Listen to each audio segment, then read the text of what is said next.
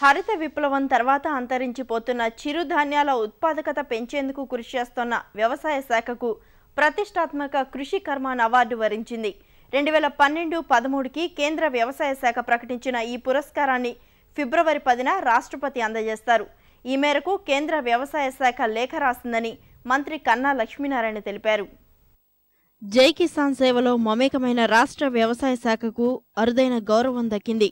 కనుమరుగవుతున్న రాగులు సజ్జలు మొక్కజొన్న జొన్న కొర్ర సామ వంటి పురాతన చిరుధాన్యాల ప్రోత్సాహానికి గాను రెండు వేల పన్నెండు పదమూడు సంవత్సరానికి ప్రతిష్టాత్మక కృషి కర్మాన్ అవార్డు ఆంధ్రప్రదేశ్కు వరించింది. ఈ పురస్కారం కింద రాష్ట్ర సర్కారుకు కోటి రూపాయల నగదు సహా జ్ఞాపిక ప్రశంసా పత్రాన్ని అందజేయనున్నారు. చిరుధాన్యాల సాగు ఉత్పత్తిలో అత్యుత్తమ ఫలితాలు సాధించిన పురుష మహిళా రైతులను ఎంపిక చేసి లక్ష రూపాయల నజరానా అందజేయనున్నారు. రెండు వేల పన్నెండు పదమూడులో మొక్కజొన్న పంట తొమ్మిది లక్షల డెబ్బై రెండు వేల హెక్టార్ల విస్తీర్ణంలో సాగు చేసి నలభై ఎనిమిది లక్షల పదమూడు వేల మెట్రిక్ టన్నుల ఉత్పత్తిని సాధించారు. మన రైతులు.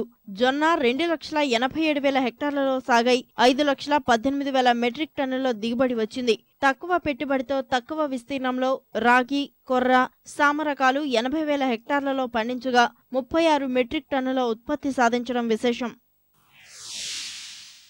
అంతరించిపోతున్న చిరుధాన్యాల పంటల ఉత్పత్తిలో రాష్ట్రాన్ని అగ్రస్థానంలో నిలిపేందుకు కృషి చేసిన వ్యవసాయ శాఖ సిబ్బంది కృషితో పాటు శక్తి వంచన లేకుండా శ్రమించిన రైతన్నలకు మంత్రి కన్నా లక్ష్మీనారాయణ అభినందనలు తెలిపారు. మున్ముందు చిరుధాన్యాల సాగు విస్తీర్ణాన్ని పెంచి అధిక దిగుబడులు సాధించాలని సూచించారు.